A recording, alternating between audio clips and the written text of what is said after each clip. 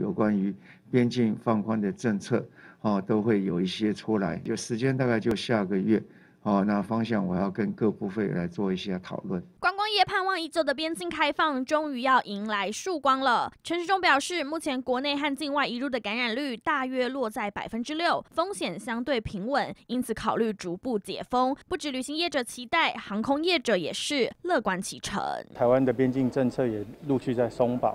哦，那我们相信说，在迎接复苏的这个旅游的来临哦，应该是已经不远了，看见曙光了。目前台湾边境逐步放宽，行政院长苏贞昌表示，六月一号起入境采唾液快筛，阴性即可离开机场进行七加七的隔离。而日本作为国人最喜欢的旅游国度之一，也将从六月十号起开放国外的旅客入境观光，以阳性率低的低风险地区开始实行，而台湾也被列入其中。但国外的旅客必须以参加旅行团的。形式才能入境日本。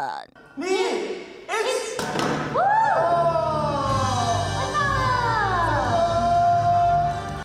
独有的祈愿仪式，象征虎航和国外信用卡公司合作，看准疫后的旅游商机。除了抢先推出联名信用卡之外，机票的部分也会是边境松绑程度持续加开。接下来的航班包括说旅游业者、旅行社的一个定期的包机以外，哦，我们也有这一个一般的这个 FIT 的这个航班。那事实上，我们在随着疫情边境的这个松绑，我们还会持续的去滚动式的调整，增加这个航班。So I think everybody is willing to go go to Japan, and we will provide our best service.